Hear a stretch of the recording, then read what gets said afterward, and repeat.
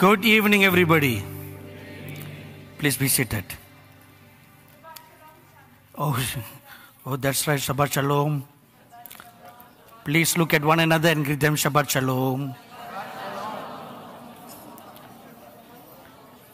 Looking at the many banners in this church, it tells me that they are lovers of Israel. Not only they have the flag of Israel over there, but also the ancient Hebrew writing at the back of this church. You, that is the ancient Hebrew writing, uh, dating at the time of before Moses, during the time of Seth.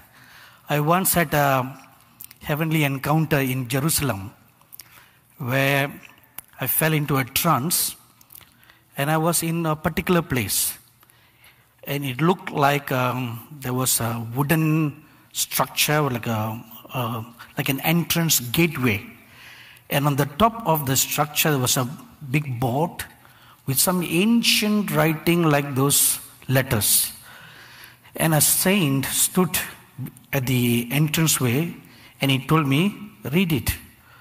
I said, "Sir, I do not know this language. I do not know how to read it." He said, "Yes, you can read it." And he said, Okay, repeat after me. And he said the first word, and I repeated the first word, and I could then read the entire sentence.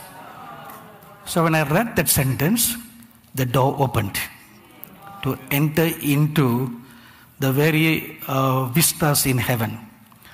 So that writing is quite little quite similar to this kind of writings. So Shabbat Shalom everybody. All right. So I'm, I'm glad, you, I'm, I hope you are happy and good in the Lord.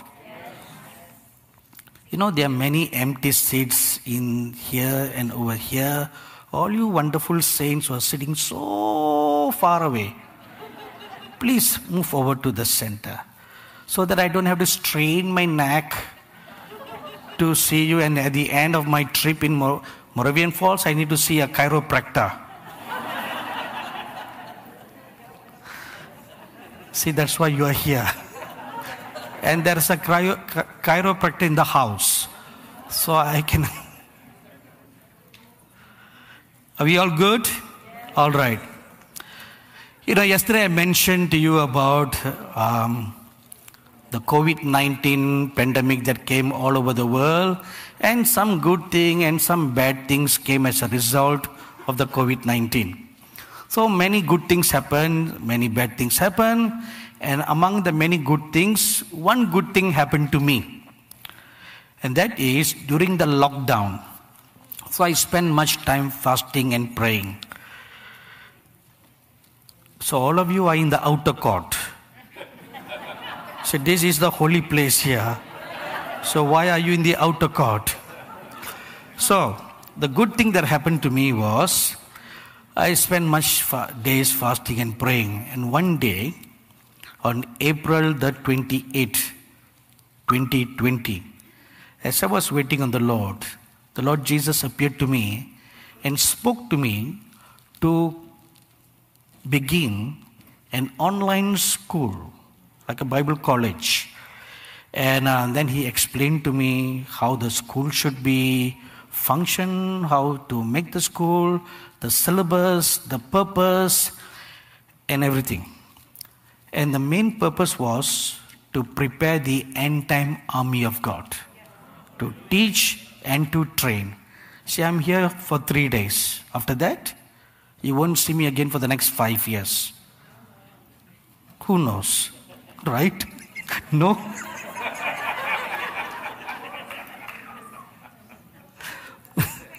Well, whether if not five years, either one year or two year, during the intervening period, we don't see each other too often, right?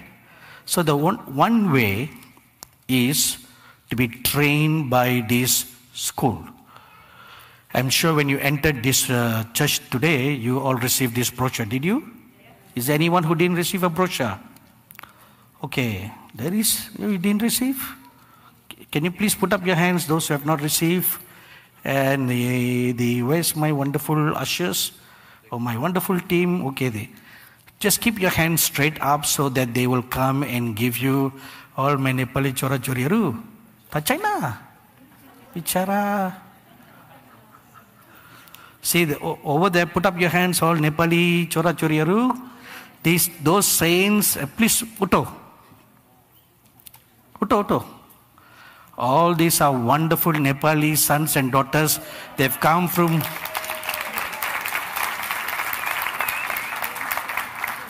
They come from far away, not Nepal, but Syracuse. Syracuse in New York.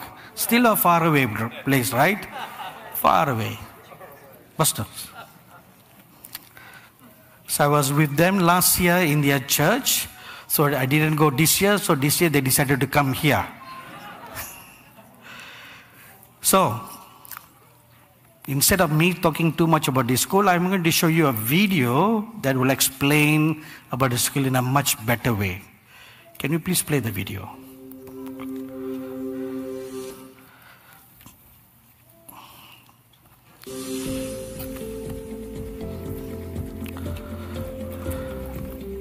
Do you want to be prepared for the end times? Do you want to know the Lord Jesus, walk with him, talk with him, and work with him?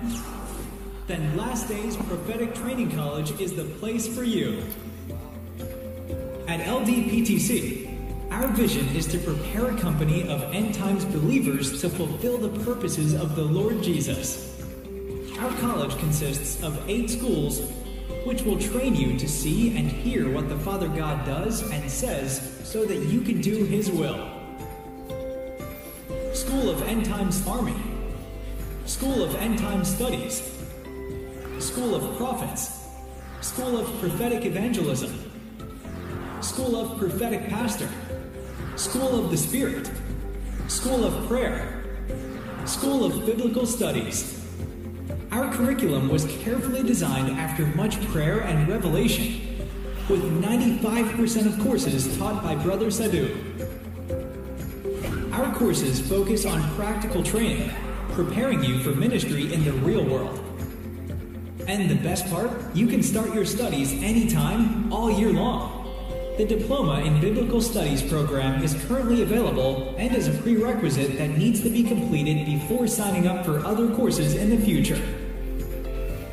It is a 10 months course that provides a focused study of the Bible, an overview of systematic theology, and practical ministry training. Our faculty has over 200 years of ministry experience and we have more than a thousand hours of teaching material online. Plus, we have over 7,000 alumni students from all over the world. LDPTC has received accreditation by AICCS, Transworld Accrediting Commission International, the National Bible College Association, and Theological Accreditation International which have a combined total of more than 2,000 member institutions.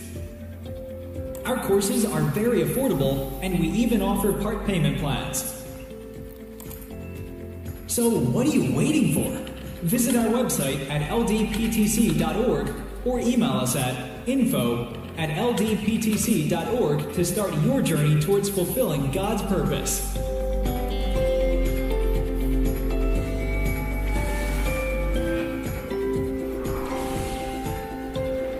LDPTC, where you'll be equipped to fulfill the Lord's purposes in the end times. Amen. You know, they say a picture speaks a thousand words. Rather than me speaking thousand words, that picture spoke more than thousand words. So, in these schools, I teach at in great depth, which, which I don't do in a public conference.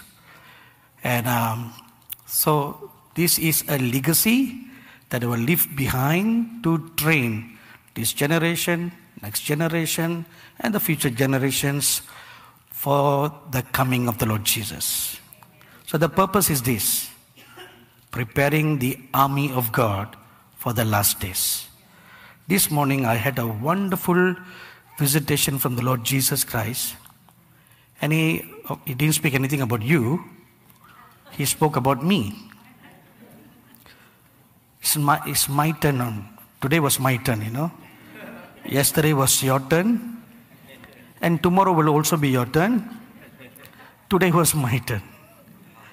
And the Lord spoke to me about, uh, among the many things that I should do, one was the school.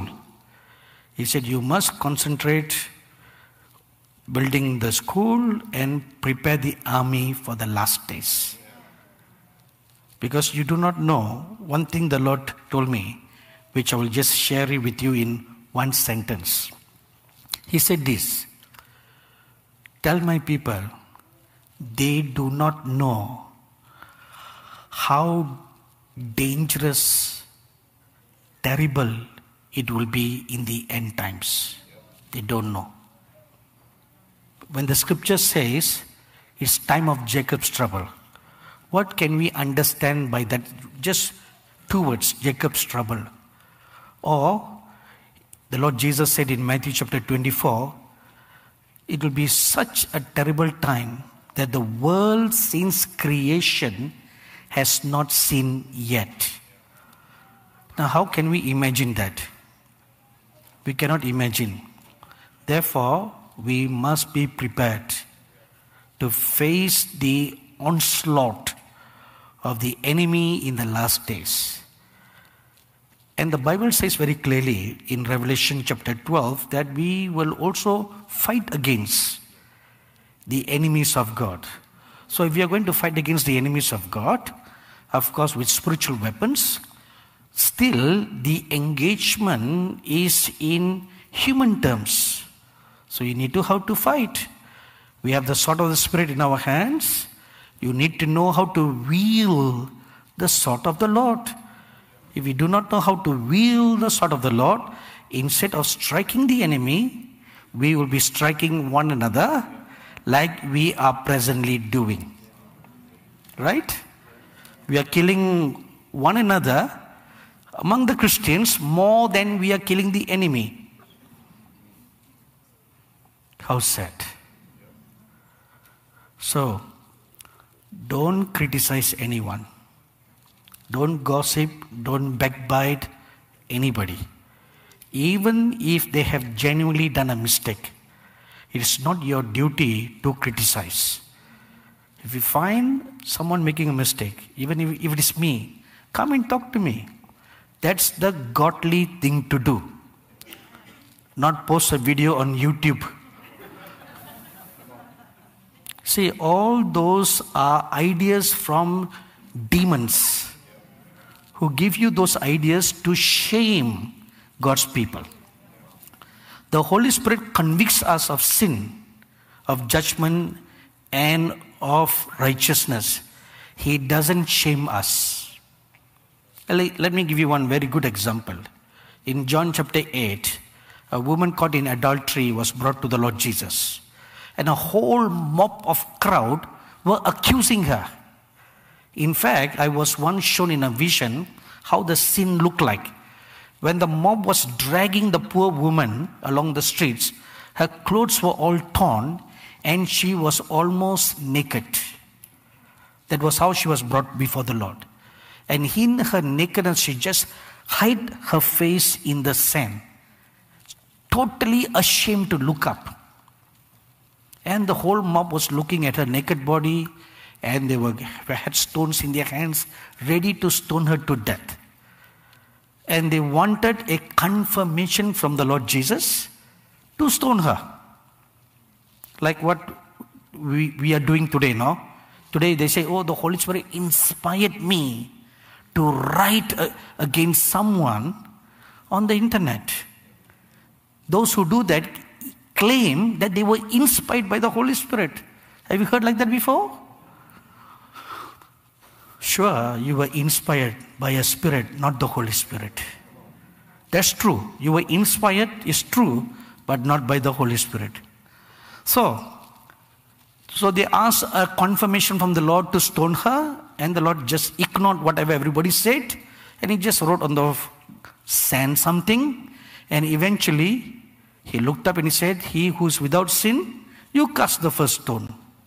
So, from the youngest to the oldest, felt convicted. See, that is the work of the Holy Spirit. You see a demonstration of the work of the Holy Spirit. As soon as the Lord Jesus spoke those words, they were convicted in their hearts. They dropped their stones and they all left. Everyone left.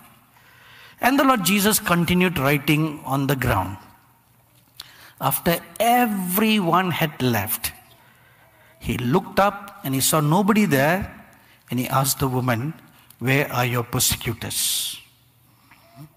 And she, only then she looked up and she saw no one and she told the Lord, There's no one, Lord. And the Lord said, Neither do I condemn you. Go and sin no more.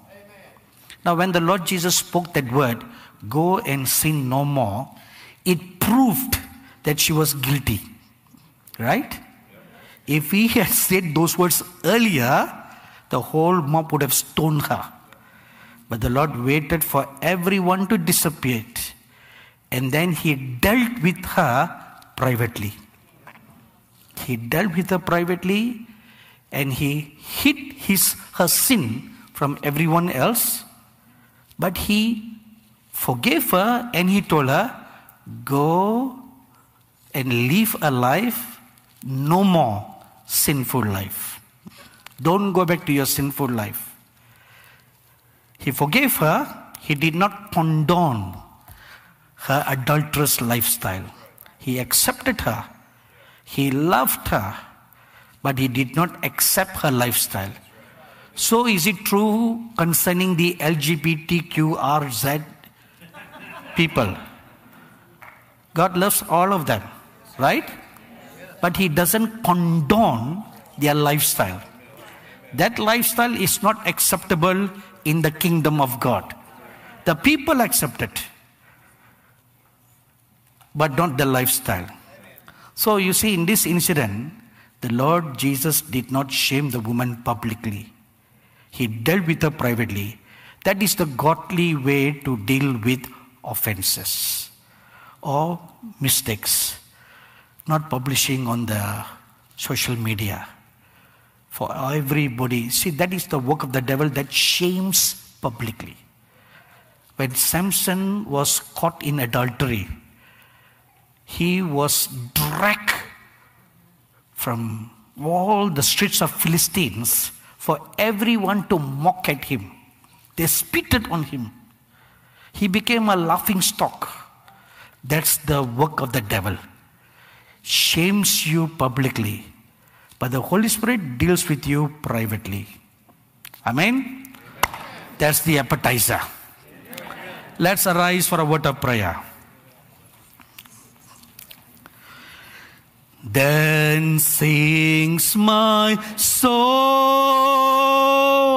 my Savior God, to thee. How great thou art! How great thou art!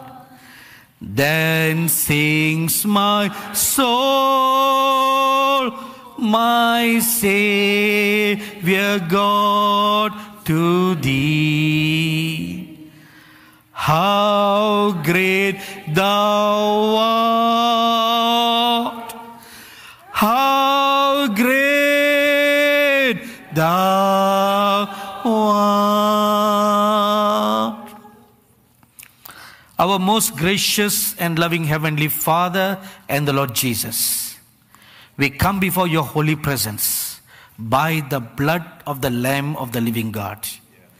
Thank you, Holy Father, for gathering all your dear children from far and near once again tonight. As they stand before you, Lord, I ask you, Spirit of the living God, open their hearts, open their ears, give them an understanding heart and a listening ear that they may hear what the Spirit of God will speak to them and the churches in these last days. In the name of the Lord Jesus Christ, we pray. Amen. Before you sit, while I was praying, did you heard a baby praying together with me? That baby prayed together with me because that was the baby I dedicated in the month of April. So the baby recognized my voice. Please be seated, everybody.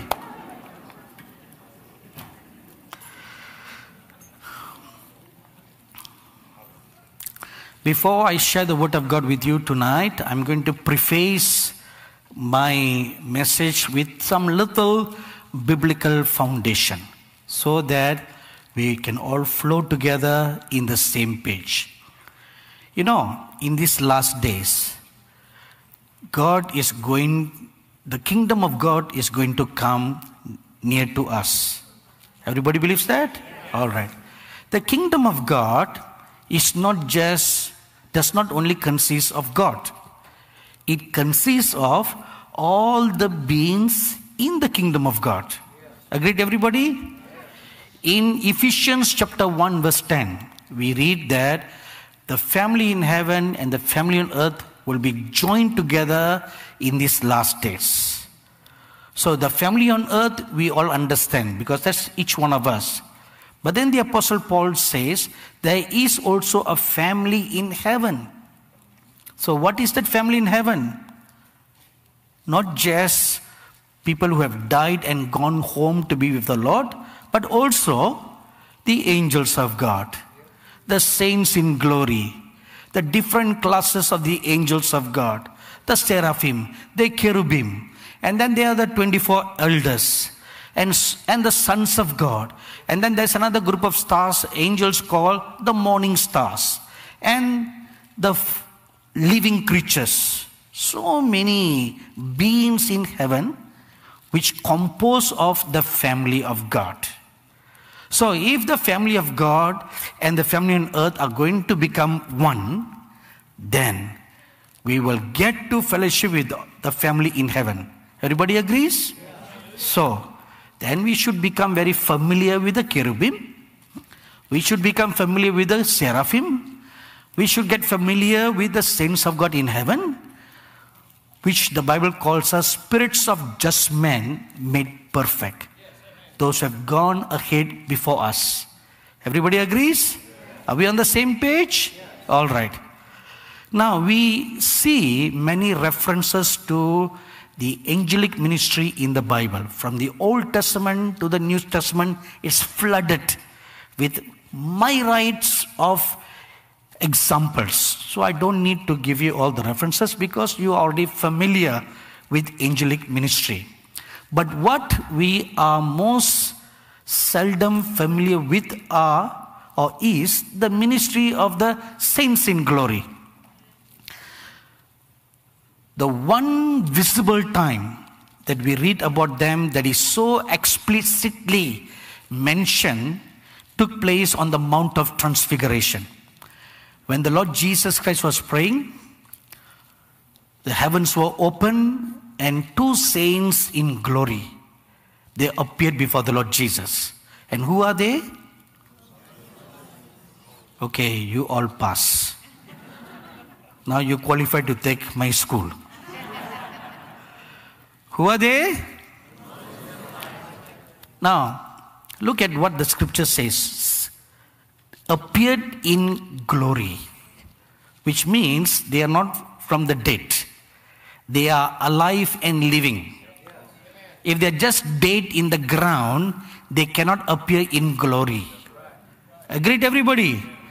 For them to appear in glory, and the word glory in the Greek is the same word used all throughout the Bible about the glory of God. Same. So, which means the two saints came directly from heaven. All agreed? Are we in the same page? All right. You believe that? All right. See, this is the most visible thing in the New Testament concerning the life of the Lord Jesus. However, there are several other references in the Old Testament which are subtle, but when you really read them carefully, then you'll find that it's also mentioned in the Old Testament. The prophet Daniel experienced this. In Daniel chapter 8, verses 15 to 17, he had a visitation from a man. Whether it's an angel or just an ordinary man, he didn't know. And one of the reasons is because not all angels have wings. Did I disappoint you? Sorry if I did, but that is the truth. Not all angels have wings. That is the reason why when they appear, many times they saw them just as a man without wings. When uh, in one meeting I mentioned this and someone asked me a question, then how did they fly? like Superman.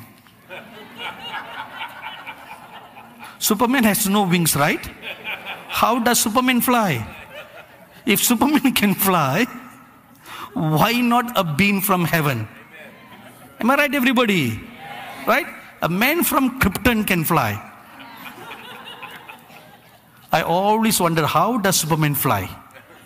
He, if he can do it, certainly angels in heaven can do it. Amen. It is okay, we will not go into that. That is sometimes I'm tempted and I'm get I get carried away. No. We'll not go over that because that's not my subject. So, and then in chapter 8, verses 13 to 14, it specifically says the prophet Daniel saw two saints. No, the word saints is never used for an angel. Never. Because angels have never sinned.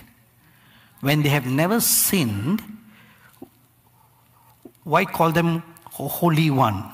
They're not holy ones. The, the title holy ones is never used for an angel. They are always just simply called an angel. But here in Daniel chapter 8, verses 13 and 14, a specific word, Holy One, is mentioned, and two of them, they appeared before the prophet Daniel, because the prophet Daniel entered into a trance experience. And when he was in the trance, he saw these two saints, and they were talking among themselves. And he heard their conversation because he was part of the company. He heard their conversation and then he wrote down what they heard. And then in chapter 12, verses 5 to 13, again he was in a participation with a company of saints who were discussing among themselves concerning the prophecies of the last days. And he was in the company and he was in fellowship with them and he heard their conversation. So that is a one evidence from the Old Testament. I give you one evidence from the New Testament. I'll give you another evidence from the New Testament in the book of Revelation. The Apostle John, who wrote the book of Revelation, had an awesome experience with saints. If you read Revelation chapter 1, verse 1, it says, God the Father revealed to the Son the revelation, and the Son spoke to the Apostle John through his angel. Am I right, everybody? You see the scripture there? You see the word angel there? All right. Underline the word angel in your Bible. Take note of the word angel. An angel, right? Am I right, everybody? An angel, right? Okay. Then in look at chapter 19 and the verse 10. Chapter 19, verse 10 says, Ah, they're taking time. See, that's the thing. That's why I told you, quickly turn to your Bible. Chapter 9, see, still not there. If you have your good old fashioned Bible, you can quickly turn to chapter 19, verse 10. Still not there. They got the wrong scripture. 1910. Right. Thank you. Now look at the scripture. Now, this is the same angel. I fell at his feet to worship him. But he said to me, See that you do not do that. I am your fellow servant. Now, underline the word fellow servant. no angel is a fellow servant to us. And of your brethren, angels never call us brother or sister. No. They cannot. They cannot qualify because they are not born into the family of God. Your fellow seven and your brethren who have the testimony of Jesus, angels do not have the testimony of the Lord Jesus. See? And the spirit of prophecy. Angels do not have the gift of prophecy in them. So this angel mentioned in Revelation 1 1 cannot be an angel, right? Right? Now let's look at another scripture. Revelation chapter 22, verses 8 and 9. And let's see if they get it fast this time. No. Okay, let's do the oh, oh okay, good. Now I, John, saw and heard these things, and when I heard and saw, fell down to worship before the feet of the angel who showed me these things, right? Now you got the word angel there. Look at verse 9. And verse 9 takes a long time to come. And he said, See that you do not do that. I am your fellow servant. Now, this cannot be an angel. And of your brethren, the prophets. Ah, your brethren, the prophets.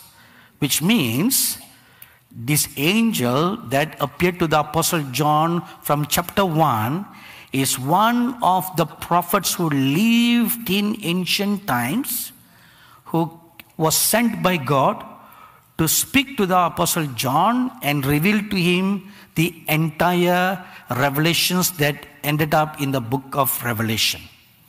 Amen? Everybody accept that? Good? You all believe that? That is a very weak yes. Do you believe or you don't believe?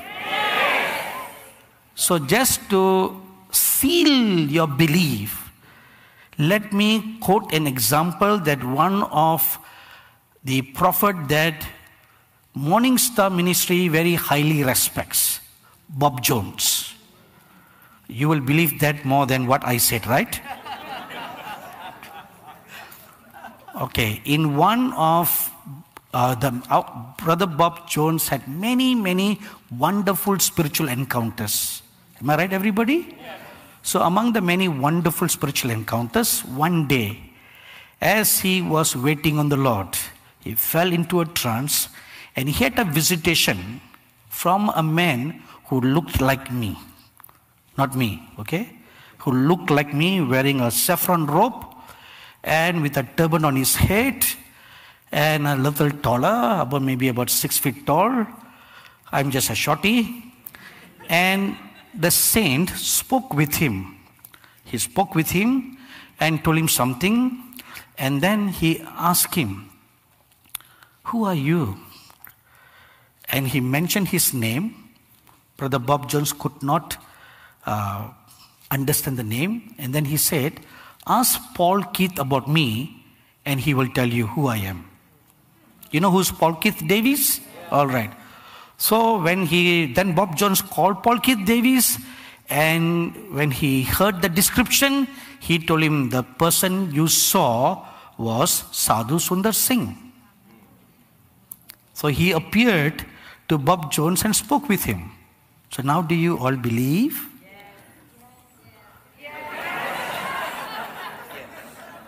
See, this is the reason why earlier on I held back from revealing some things to you. All right. Do we all believe? Yes. Okay. Good. now, why did I lay this foundation for you? Is because in these last days, the saints in glory will appear. They will appear to work together with the last days church. They'll work together because some of them have gone home to be with the Lord before they completed their ministry. In Hebrews chapter 11, verse 40, it says that they, without us, are not com- perfected, not completed. Now, one of the call of the prophet Moses was to bring the children of Israel into the promised land. Am I right? Did he do that? No. So, incomplete. So, in the last days, he will come back again to complete his ministry as one of the two witnesses. So, they will work together with the last days church. Why? Because as a human, they will understand our difficulties. They will understand our passion. They will understand our emotions. An angel cannot understand all that, you know. The angels, when they come, although they have emotions and they fellowship among themselves, but they cannot understand the human emotion because humans have fallen. Angels have not fallen. So they will not know how to sympathize when you fall to sin. They'll just say, Sin not. But if a saint comes, he'll put his arm around you and he will tell you, You can do it again. Come on, get up. I walked through the same path. You can do it again.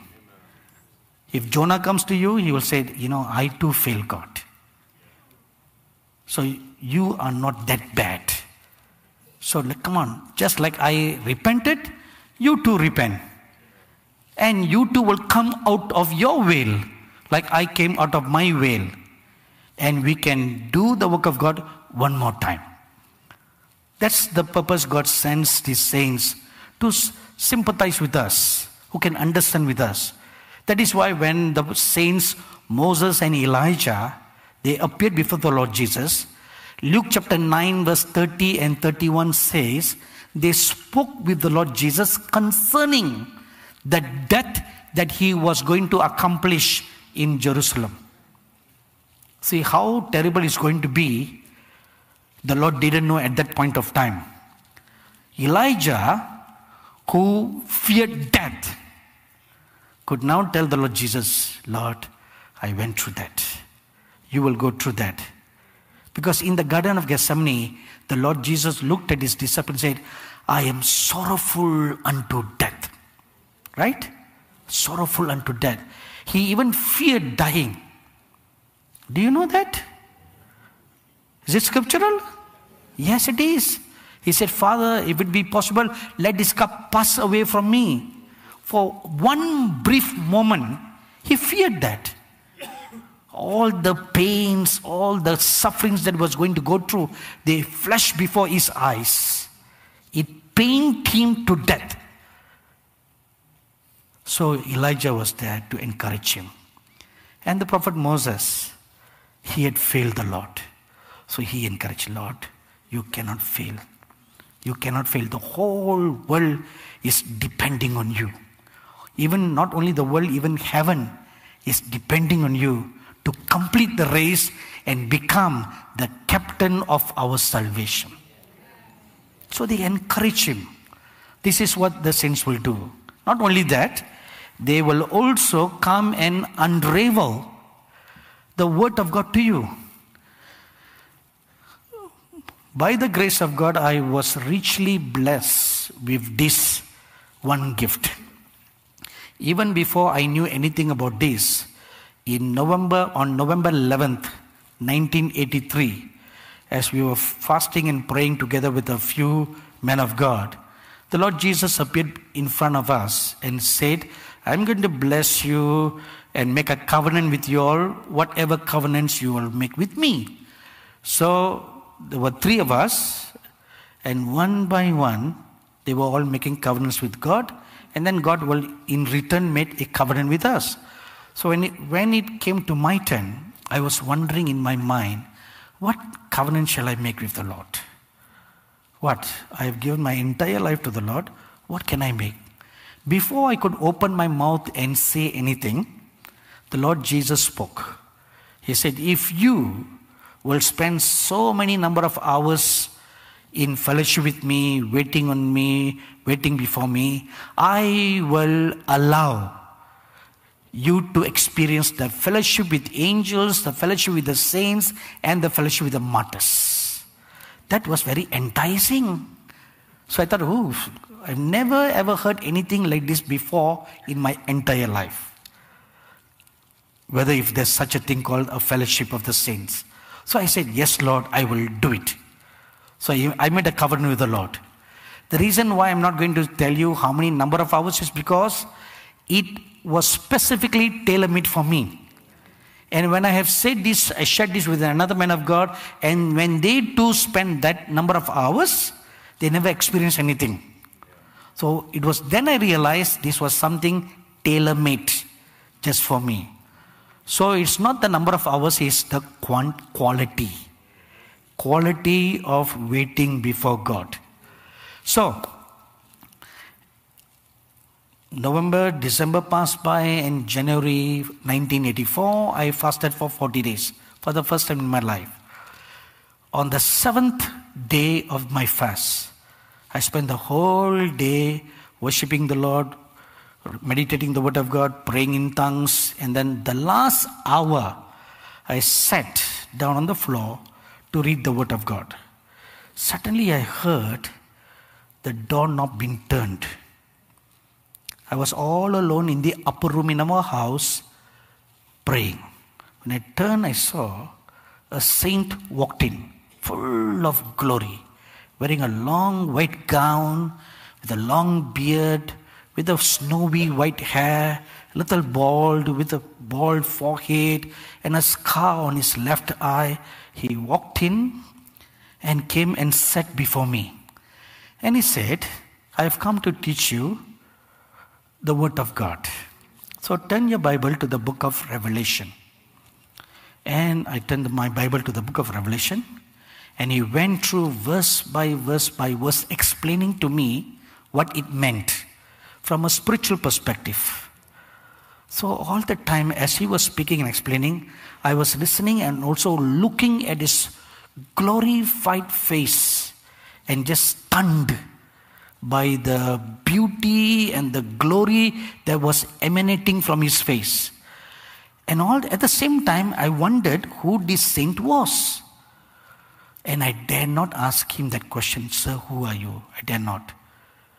So when he was through with the whole chapter 1, he looked at me and said, Tomorrow I will come again at this time and we'll continue chapter 2. So before he left, I said, Sir, who are you? He looked at me with a big fatherly smile and he said, I'm the one who wrote this book.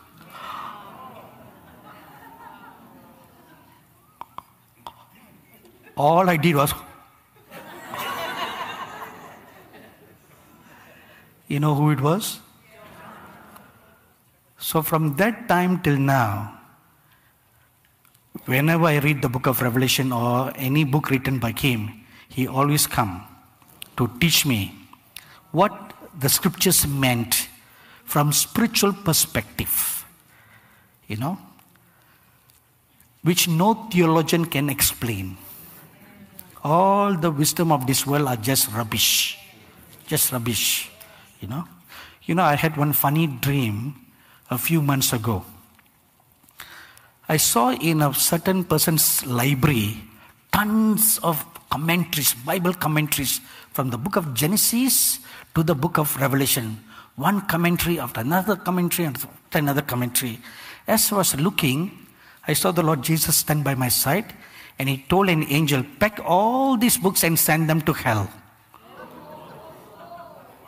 I was shocked. I clearly heard him say, Pack all the books and send them to hell. These are wonderful commentaries written by some great theologians.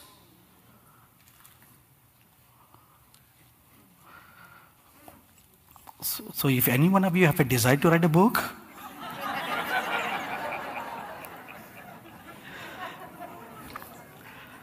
all right, let's come back now. My message this evening is entitled Serpent Spirit is Coming. While I was fasting and praying in Jerusalem on the 14th of June 2023, It happened during this year after we had finished conducting our annual conference in Israel. I always go a few days before and then I stay back a few days or a week after to just fast and pray, you know. So on the 14th of June 2023 at 10 in the morning, I had a visitation from the Saint Moses. And the prophet and the Saint Elijah came together with him. And they two were present. And the Saint Moses looked at me and he said, A serpent spirit is going to come. This serpent, which is deception, is going to come all over the world and it's going to begin in Jerusalem. A serpent spirit is going to come. Serpent, which is deception, is going to come all over the world. No more in just one nation here, another nation there. No more. This will be a global problem. You know, I tell you one secret. When COVID 19 pandemic happened, it somehow opened a door in the spiritual realm. From then onwards, anything that happens is on a global scale. No more a regional scale. It just opened a door, a door in the heavens, in the spiritual realm, for good and for bad. For the bad, for the works of the devil, they are all be on a global scale. For good, the works of God will also be on a global scale. No more one nation here, one church here, or one church there. No. What God will do will be on a global scale. All the churches experiencing it at the same time. And the works of the devil that take place will also be on a global scale, all over the nations, all against the people of God at the same time. What you will experience here, someone else on the other part of the earth will also be experiencing it at the same time. What happens in your church will also be simultaneously happening somewhere else in the world at the same time because it will be a global problem from now onwards. So, a serpent spirit is going to come, which is deception, is going to come all over the world. And as the Saint Moses spoke with me, I saw a large, heavy, black cobra coiled around in one corner.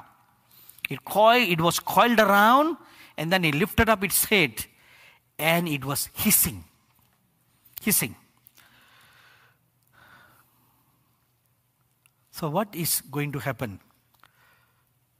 First Timothy chapter 4, verse 1 says, Now the Spirit expressly says that in the latter times some will depart from the faith, giving heed to deceiving spirits and doctrines of demons. So, this serpent spirit is not just one spirit, it is the main one, but below him there are his cohorts. Millions of them. And they all carry the same anointing. And what is it? To deceive. That is what this serpent stands for. To deceive. And that's what the scripture says deceiving spirits and doctrines of demons. Now will go out all over the world. And what is their purpose? To deceive the people of God. That's the purpose. Now, when will this happen? The scripture says very clearly in the last days, latter times. Latter times means the last days, which means our time. In these times that we are living in. The Lord Jesus Christ, in the last sermon that he preached before he was crucified, mentioned that deception will be a sign of the last days. In Matthew chapter 24, verse 5, and Mark chapter 13, verse 22. And Jesus answered and said to them, Take heed that no one deceives you. That's his first sentence. when the apostle Peter asked him, Lord, what will be the sign of your coming? The first sentence the Lord Jesus said is, Be careful that no one deceives you. That's the first sentence, which means deception will be rampant in unmeasurable manner in the last days. So much so, even the elect will be deceived. Elect are those who walk very close with God. If they can be deceived, how much more the common people? There's no hope for the common people. If the elect can be deceived. When Satan, when Lucifer fell, we read, we know from scriptures that a group of angels, not one third, that's wrong teaching. Popularly, wrong, popular wrong teaching of one third.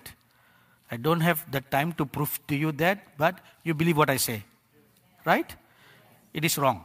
Anyway, many angels, millions of angels fall. Now, those angels who fall are not ordinary angels. They are of very high rank, similar to this title called the elect.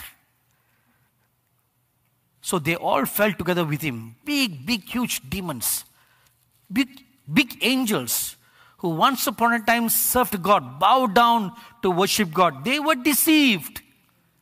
Deceived by this great serpent. Now, the word deceive in the Greek is called planao. P L A N A O. And the word planao means to lead astray, to cause to wander, to go astray, to mislead, to deceive, to seduce, delude. Simply put, the word planao means to roam away from the truth. Or to put it more simply, it means to go astray. Causing someone to go astray. That's what the word deceive means. If I'm a deceiver, I will teach you teachings, wrong teachings that will cause you to go astray from the true doctrines of the Lord Jesus Christ. That's what a deceiver is. And that's what deception is going to do in these last days. The serpent has been present since creation in the Garden of Eden. Of all, among all the animals that God created, He also created the serpent. The serpent was not created by the devil. Right, everybody? The serpent was created by God. Genesis chapter 3, verse 1 says, The serpent was among the creation of all the cattle and all the wild beasts in the garden. So it was part of the creation of God. However, why was the serpent chosen? As I read the scripture very carefully this afternoon, I found something why the devil chose the serpent among all other animals. He could have chosen a peacock, he could have chosen a monkey that never stays in one place, or a donkey or a horse, more beautiful than a serpent, right? He could have chosen any. Why particularly the serpent? Genesis 3 1 says, And now the serpent was more cunning than any beast of the field. Now, the word cunning, by the way, today we have a bad understanding of the word cunning. But this is what exactly it means cunning. Cunning in the Hebrew means arum. A R U M. And the word arum means wise and understanding, prudent, clever. This is what the word cunning means positively. In the negative sense, it means crafty. crafty, very cunning, cunning, crafty, one who devises evil. So this serpent was a very wise and understanding, prudent and clever beast among all other beasts. And that is why the devil chose that. If you look at history, every false prophet, every false teacher, or every false religious leader who have ever come to this world so far are not ordinary believers. Right? They are some high ranking teachers, wise people, clever people who has charisma, who has leadership abilities. The devil used them. Because then the masses can be lured away. Use their cunning wisdom, their mind to deceive. Once, when they are deceived, they will deceive you in return. First, it is a self deception, comes first. Then, the one who self deceive will deceive another. Like produces like. So that's why the devil was chosen, I mean, serpent was chosen. And the word arum comes from the word aram, aram, A R A M. And it means smoothness, smooth talking with a cunning intention. Deceivers don't preach like me, loud and robust.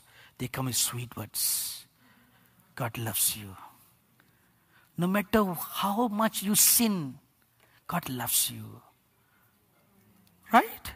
They talk sweet words, sugar coated words, so that you will fall sway, sway to all their sweet words. They would not speak like Elijah. He looked at Ahab and he said, You will go to hell. You're doomed. I'm not the troublemaker of Israel. You are the troublemaker of Israel. Which one of you dare to go to the White House and look at President Biden and say, You are a troublemaker? Will you? We will send Dr. White as our representative.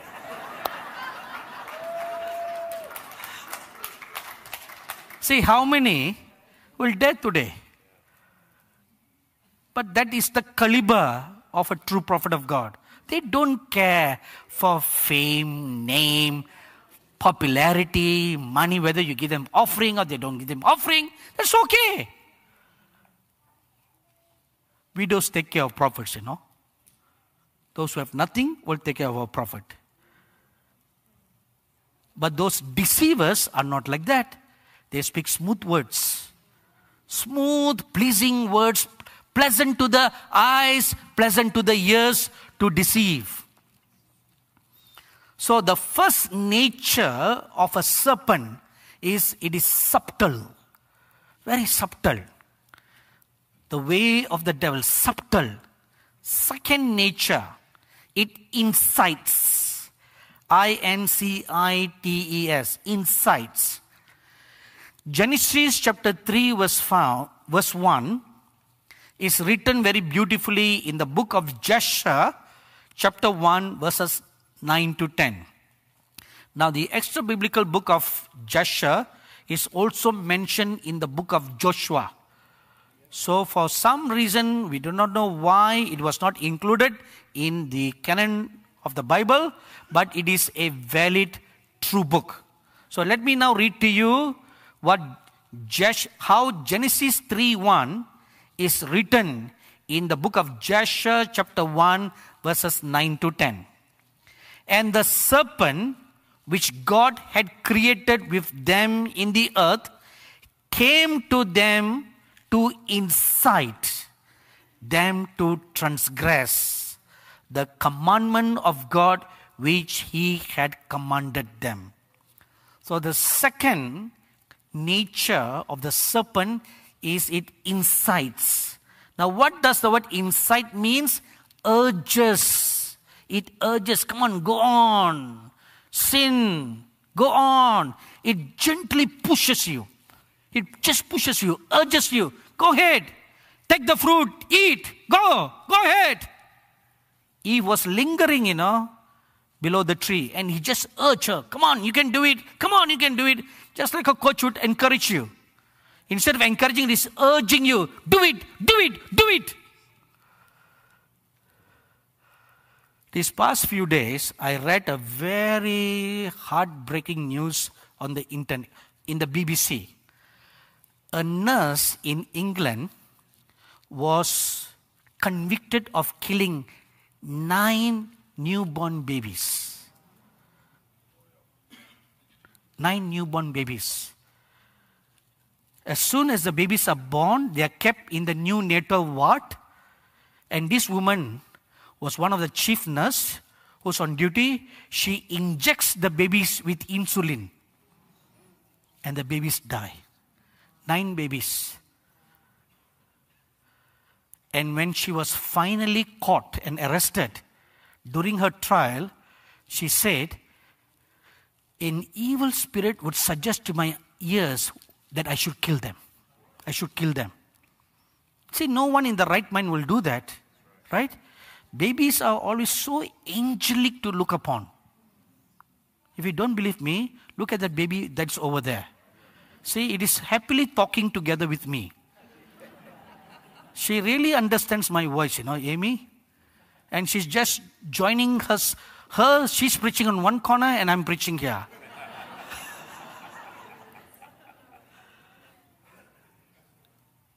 when I held the baby to dedicate it, it, she was smiling and smiling and smiling at me as if she recognized me even before she was born. So, they are so cherubic to look like. How would anyone in their right frame of mind will want to squeeze their neck and kill them? I'll tell you one true story, okay? My mother almost killed me. Oh, yes. She spilled in a moment of ungodness. And uh, because one day we were sitting and talking, I asked her, was there any unusual circumstances that happened in my life when I was a little baby? And in a moment of an unguardedness, she spilled it out. And uh, the reason was because we were going through great poverty in our family. And I already had an older sister, and my father was a single breadwinner. There was hardly enough money to feed the whole family. So my mother thought, let's let me kill this baby and I can have another baby soon after. So she came very close to the crib and she put her hand. And at that moment, I smiled. So she said, How can I kill such an angelic, beautiful, handsome baby?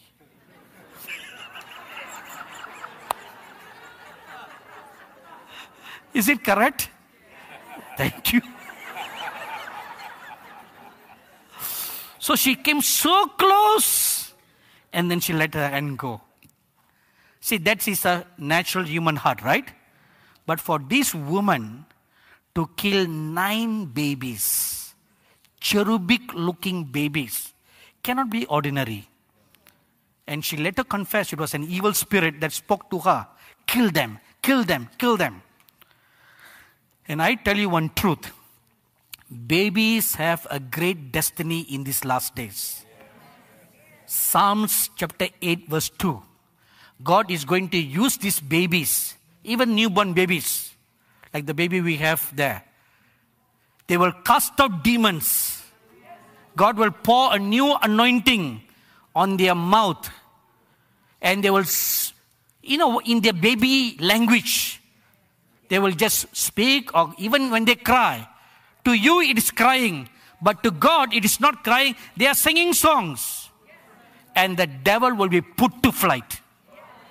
That is the destiny God has for babies. So, babies are a great threat to the kingdom of Satan. So he wants to take them out. And sadly, so thank God, the Supreme Court overturned the Roe versus Wade bill. Praise God. That, that was one of the great things President Trump did in his office for putting all conservative judges so that they could turn around. And at least something good was done in the nation to stop bloodshed, innocent bloodshed. If not, your nation would be in greater damnation before the judgment seat of God. So you now have a little window to breathe grace. So, thirdly, the devil or the serpent incites. Secondly, and thirdly, it entices. Entices or persuades. And the serpent, Genesis chapter 3, verse 10. And the serpent enticed, and now I'm still reading from the book of Jasher, chapter 1, verse 10. And the serpent enticed and persuaded the woman to eat from the tree of knowledge. And the woman hearkened to the voice of the serpent, and she transgressed the word of God, and took from the tree of knowledge of good and evil, and she ate, and she took from it, and gave also to her husband. Now look at the first sentence. The serpent enticed and persuaded. The word entice means to arouse a desire. When you are enticed, your desires are aroused for good or for bad. If it is a lustful desire, you will end up committing a lustful act, like how King David did in 2 Samuel chapter 11.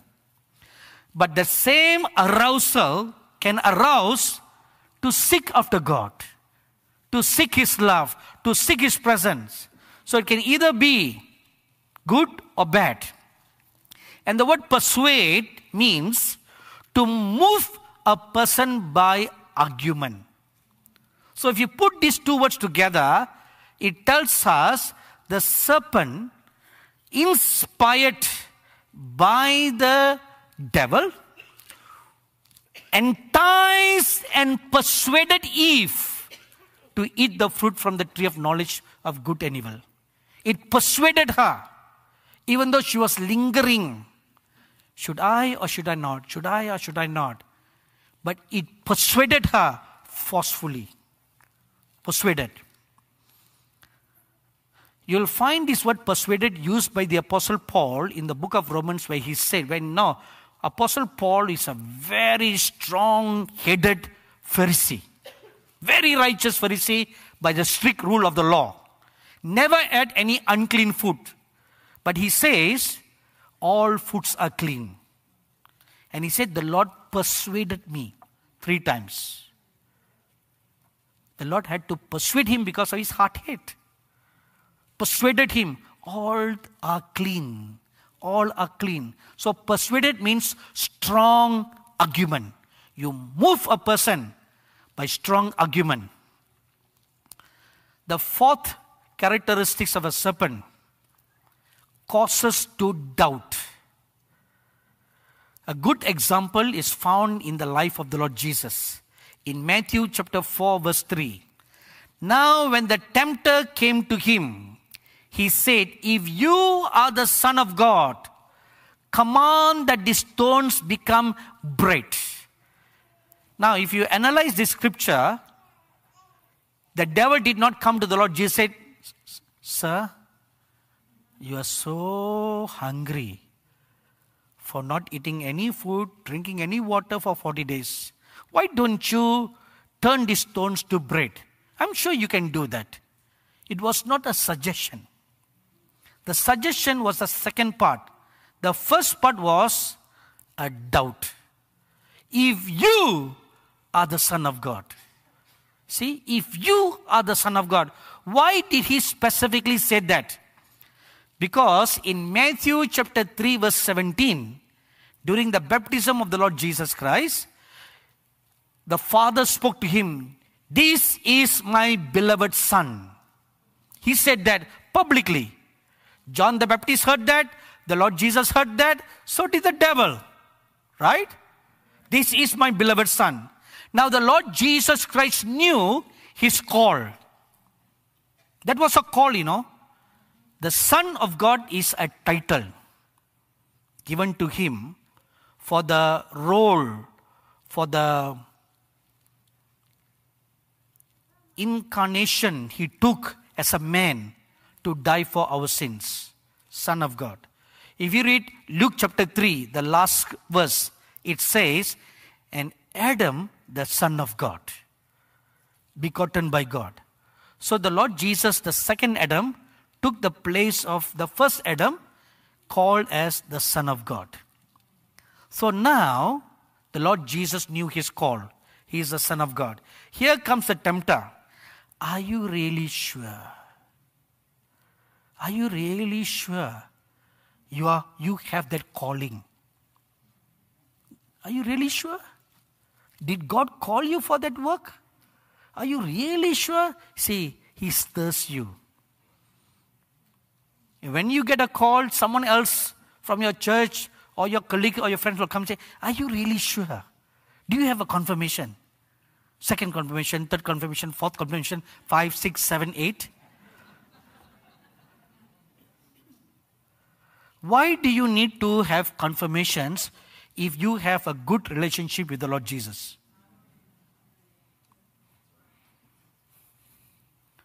Brother Jerry, where's your wife? Where is she? In the lobby. How long have you been married? I'm going to show you an example now. 35 years. Wow. That's a miracle in American standards. Am I right, everybody? Marriages don't last in America, right? Six months, three days. hey, wait, don't laugh. The shortest, the shortest, I read in the news, happened three days ago. Got married tonight, next day divorced. Just the next day, divorce. Why? Because the husband did something that the woman didn't like. He spammed her head, he smashed her head on a cake. She didn't like that. So the following day, she filed for a divorce. Here comes your wife. You, you heard me calling you? Okay, please sit down. Good you came. Okay, let's let me get back to my illustration. So you have been married for 35 years. All right. And you work in the church here. Do you work here? You are a housewife? Okay, good.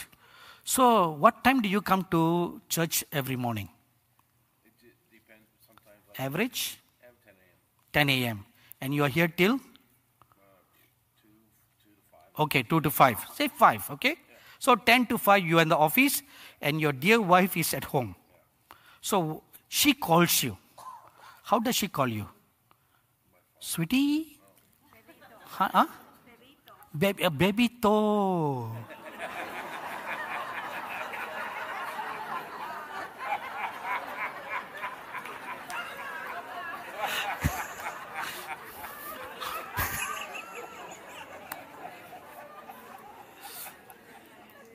See, all of you should learn that. Babito, nice sweet name. So she, Babito, have you ever asked, who is this? and obviously, either the wife or the husband will say, it's me, right? And when, she, when you hear her voice, it's me, have you ever asked, I need second confirmation?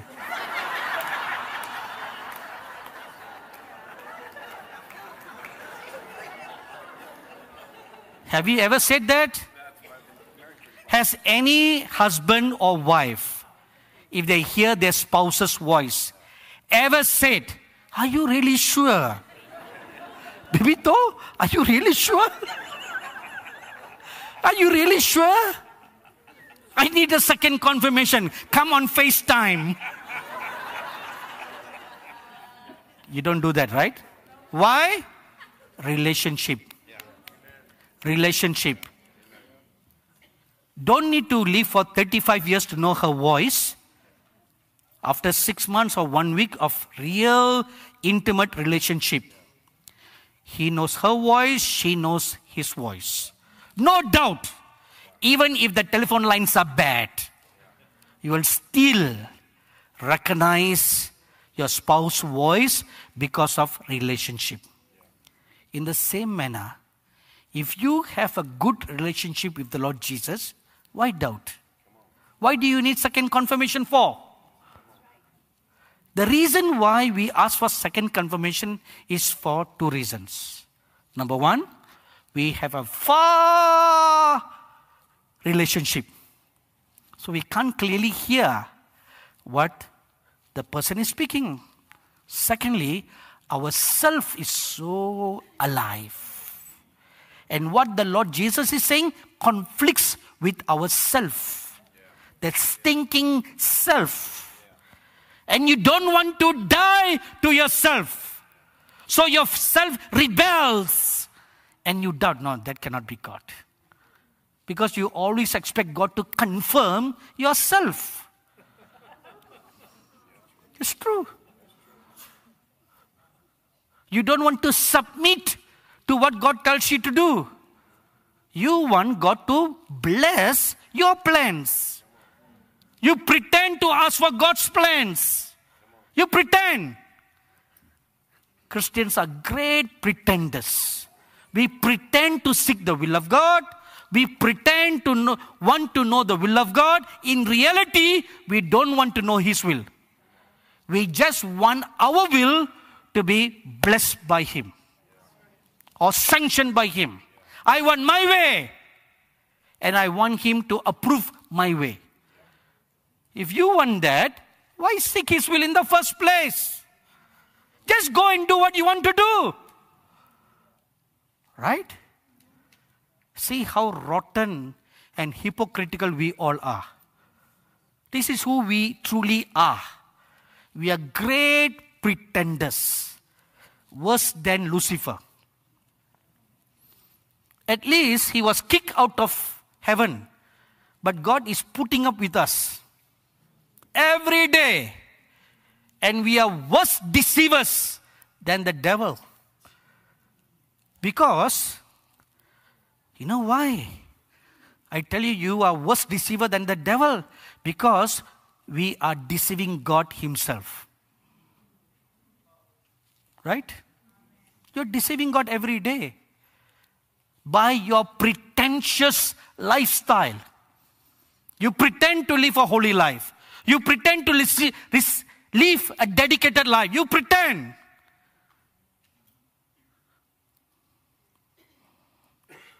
If you truly live a dedicated life, a surrendered life, whether in church or outside the church, your lifestyle will be the same. It will be uniform across the board. But in church, you put a face, and outside the church, you have another face.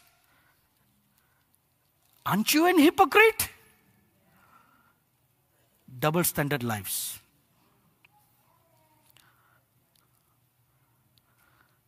That's what the devil, through the serpent, told Eve. If you eat the fruit, you will not die. You can still go on to live forever. And not only that, you will become like God. See? That will bring us to another point causing you to doubt your call. No, no, no, this is not your call. That is your call. Causing you to doubt. The calls of God doesn't change. Like the scripture says, no, the gifts and callings of God does not change. If you did not finish or complete phase one of God's call for your life, how can He promote you to phase two? No. It doesn't work that way. If you are not faithful in completing phase one, if you are not faithful in the small things that God asked you to do in this church. How can you claim that now God called me to do an independent church? God called me to start another church. So you break this church and you take half the church away. God doesn't do that. It's the devil who incited you, who moved you to do that. God will never do that. About 30 years ago, I was invited to speak at a minister's fellowship in a certain Asian country. So after the meeting, several pastors came to shake my hands, and one particular pastor, a young man, maybe he was in his early 30s, he came and uh, gave me his visiting card and he said, You must come to my church. And I took the card. As soon as I touched his card, I heard the Lord say, Don't go to his church. I know nothing about him. That was the first time I was seeing him. So I just took his card and put it in my pocket and forget about the whole thing. Then the following month, I was invited to the same pastor's fellowship again, and this pastor invited me again. This time he shook my hands. As soon as I touched him, I heard the Holy Spirit say, Don't go to his church. So I backed away. And this happened the third time. So when it happened the third time, I asked the presiding pastor of the fellowship who invited me, who, who is that man? And the pastor told me a very, very heartbreaking story. That pastor, the young man, was a youth pastor in a larger church, in an Assemblies of God church. I know the senior pastor because I preached in his church. And the senior pastor built the church from zero. He would go house to house doing evangelism, like what Pastor White just mentioned, conducting street evangelism, house, house to house evangelism, and he brought all the souls into the church and grew the church from zero to 300.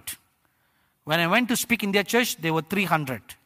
So this young man was the youth pastor, and the church had many youths, maybe about 50 youths and all their parents are in the church.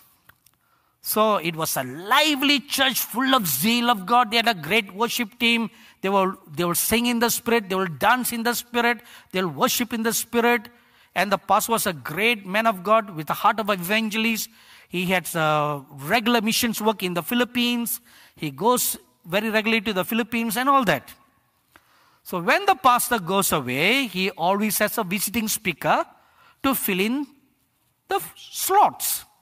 So, one particular year, when the pastor was away to the Philippines, he had a visiting speaker from America to fill in the slot. So, the American speaker came. He has come several times to the church. So, he's a trusted friend of the church. So, this pastor preached his message.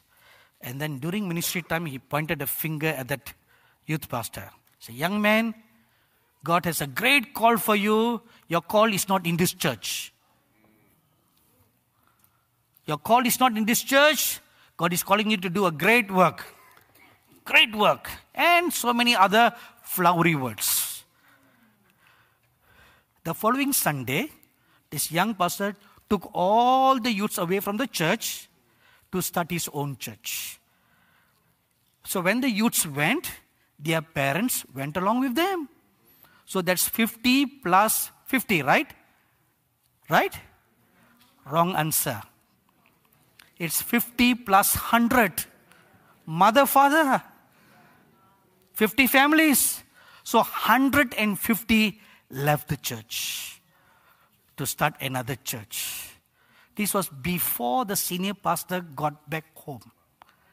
The righteous thing for the youth pastor that he would have done is wait until the senior pastor comes and then tell the senior pastor, This is how I feel God is calling me, bless me.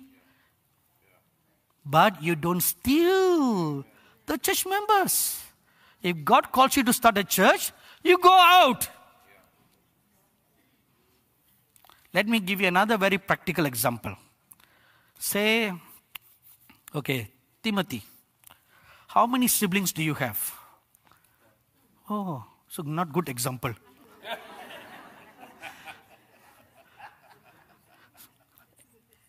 okay, how many siblings do you have? Oh, one? Oh, four. Okay, good. You're a good example. and you are? No, no, your name? Kimberly. Okay, Kimberly. You've been married for how long? Six so, six years? Okay, good. At least good long enough. So let's say Kimberly, she has four siblings, right? And you're the oldest? Okay. When you got married, now, okay, the American culture is different from the Indian culture is different. So let's suppose you are from the Indian family or from the American family, okay? You grew up in your house, the time comes for you to get married, and then you find this handsome man, you get married, you move to start your own home. Do you bring your brothers and sisters with you? You want to start your own family? Uh, please observe. You want to start your own family? Do you bring your siblings along with you to start your family? You will go out and have your own kids, right? You understand the point? You don't steal the sheep from your church to start another church if you feel that God truly called you. Go out into the woods, bend your knees, fast and pray, and get a plan from God, and then you start a church. Not steal another man's work.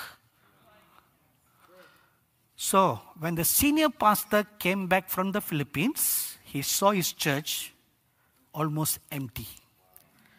It broke his heart and he went into a depression. He went into a depression and he never trusted another man of visiting man of God again. Never. He closed his church to every other man of God. No one allowed to come to his church anymore. He was a hurting man. He even stayed from, away from all pastors' fellowship. Hurting for a long, long time. So when I heard this news, the Holy Spirit whispered in my ears, This is the reason why I don't want you to go to I don't want you to go to that church because it's built on unrighteousness. The foundation that he laid was an unrighteous foundation that God does not recognize. So God does not recognize the church. He will be one of those mentioned in Matthew chapter 7, verses 21 to 23, where the Lord will say, I do not know who you are, go to hell. You can have a great ministry, signs and wonders, prophesying everything. I don't care who you are, go to hell. You did not build my father's kingdom. You built your own kingdom. Not recognized. Go to hell. All your works gone, all your labors gone, everything gone, you end up in hell. Why? Because you built on unrighteous foundation. You did not stay true to the call that God gave you. This is the work of the devil. Very subtle. Are you, are you truly the Son of God? Causes you to doubt your call. Turn these stones to bread means another calling given to him. To do the work of another ministry before its time. Before its time. In John chapter 2, at the marriage of Cana, when the wine was finished, Mother Mary asked the Lord Jesus, Please do something. And he said, My time has not come. But when the time came, he worked the miracle. Right? So here the devil was enticing, persuading, inciting the Lord Jesus to do another ministry before its time. It will fail. It will fail. You'll be all alone without the presence of God with you.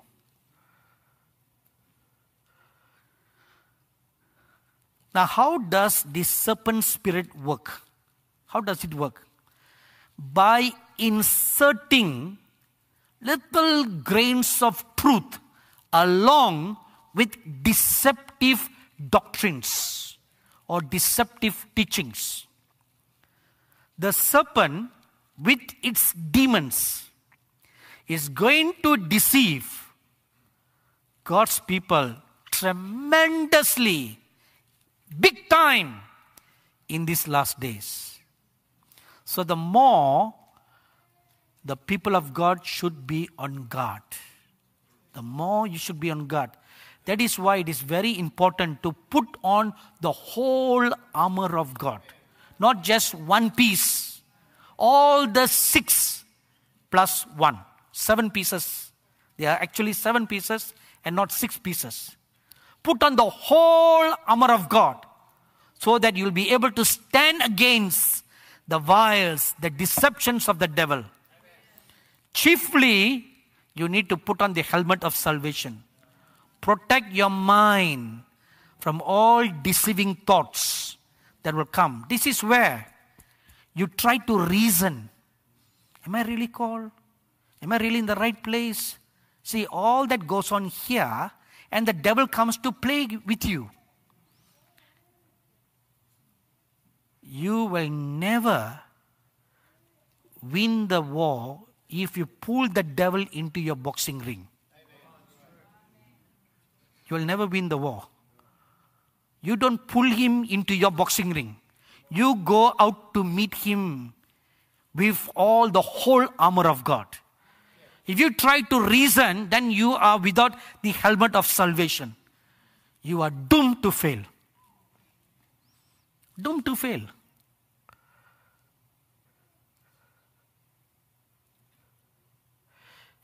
Now, please remember one thing. If the devil or the Lucifer can deceive some of the elect angels in heaven, who are you? Who are you? We are nothing. Nothing. We are made lower than the angels. If the angels can be deceived, how much more us? That is why you need the mind of Christ. Amen. You need the mind of Christ. That is the real helmet of salvation, the mind of Christ. Once you put on the mind of Christ, you will stand against all the wiles of the devil. The serpent, what is unique about the serpent? It is a beguiling deception. Second Corinthians chapter 11 verse 3, the first part says, but I fear lest somehow, as the serpent deceived Eve by his craftiness. Now, look at these two important words deceived, secondly, craftiness. Now, the word craftiness in the Greek means cunning. Cunning means twisting God's words, twisting. Inside, outside, put the grammar and the nouns and the verbs the other way around so that the entire sentence sounds different. It's same, but it sounds different. And the devil is a master of that. Similar to how he deceived Eve. In Genesis chapter 3, verse 4 and 5, we read, Then the serpent said to the woman, You will not surely die. For God knows that in the day you eat of it, your eyes will be open and you will be like God, knowing good and evil. You will not surely die is a lie. It's a lie because God said, You will surely die. He said, No, you will not die. You will be like God. You'll be like God. Deception, crafty, crafty, twisting the word of God. And he tried the same trick on the Lord Jesus in Matthew chapter 4, verses 5 and 6.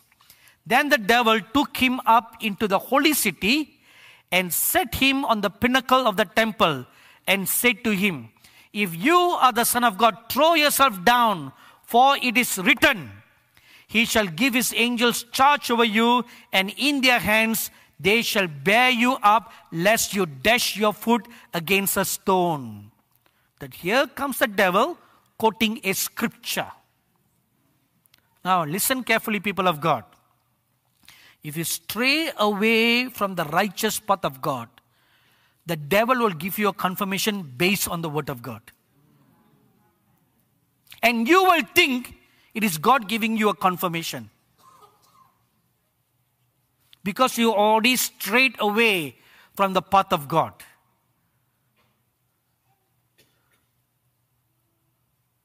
So let me repeat to you one more time. Stop going after this man or that man, this prophet or that prophet asking for confirmation. Stop that. You have the Spirit of God within you. Sit down at the feet of God, fast and pray, wait on Him, still yourself, quiet yourself, and you will hear the Spirit of God speaking to you.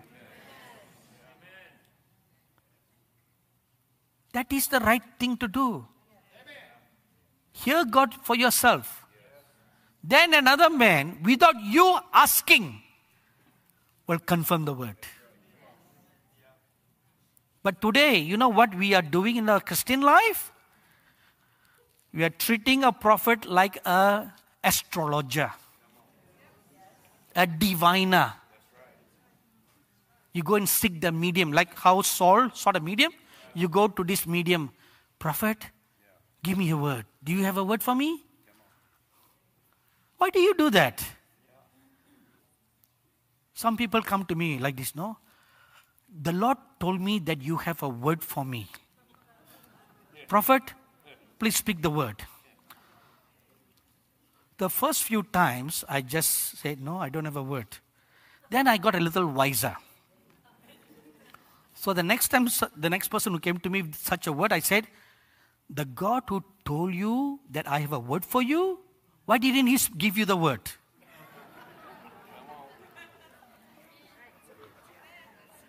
Am I right? If He can tell you that I have a word for you, He could have given you that word Himself.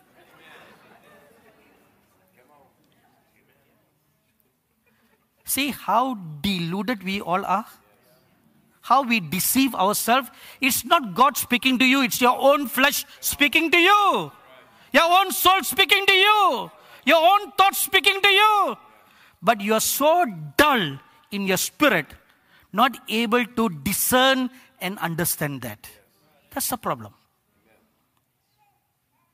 You, mar- you end up marrying the wrong person, you end up getting the wrong job, and you end up getting doing the wrong ministry. All because of you going to a diviner. Please stop that. I'm sure Pastor Chris Reed has come to this church to preach and minister, right?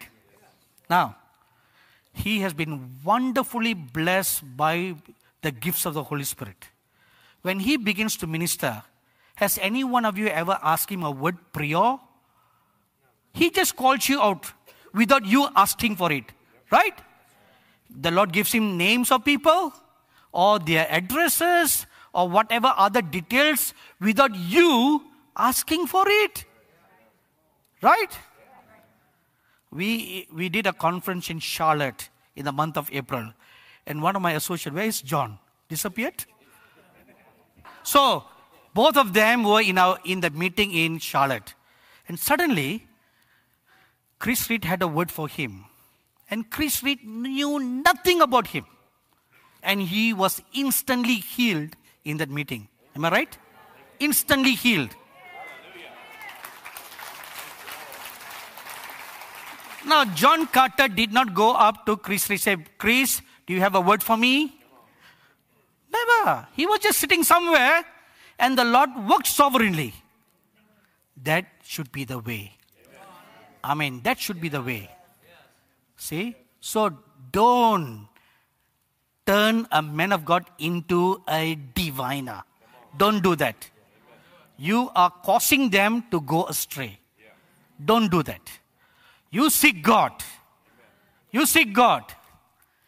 And the living Christ who dwells within you will speak to you. through the Word of God.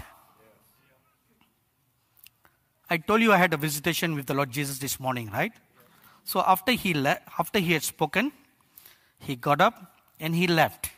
When he left, he laid a gift behind on the chair for me. This has happened twice so far in my life. When he leaves, he, le- he left a gift behind.